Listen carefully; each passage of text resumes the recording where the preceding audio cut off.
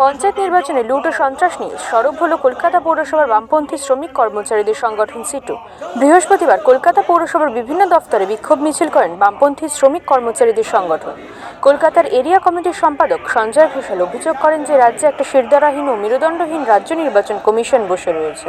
আমাদের সমস্ত বুথে পশ্চিমবাংলায় যে তেষট্টি হাজার, চৌষট্টি হাজার বুথ যে তেষট্টি চৌষট্টি হাজার বুথে যে কমরেডরা যেভাবে লড়াই করেছে, তাদেরকে অবশ্যই সংগ্রামী রক্তিম অভিনন্দন জানাচ্ছি। সাথে সাথে তাদের অনেকেই আক্রান্ত, অনেকে হসপিটালে ভর্তি, তাদের সুস্থভাবে বাড়ি ফিরিয়ে আনার দায়িত্বটাও আমাদের বামপন্থী কমরেডদের। তাই আমরা বামপন্থী যারা বিভিন্ন স্তরের নেতা নেতৃত্ব আছেন, তাদেরও, তারাও দেখছে কীভাবে কি করা যায়।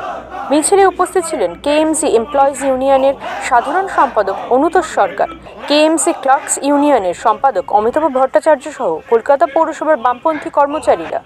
মিছিল শেষে একটি সভা হয় কলকাতা পৌরসংস্থার স্বাস্থ্য বিভাগের সামনে। কলকাতা থেকে শেখ এরশাদের রিপোর্ট, ওঙ্কার বাংলা।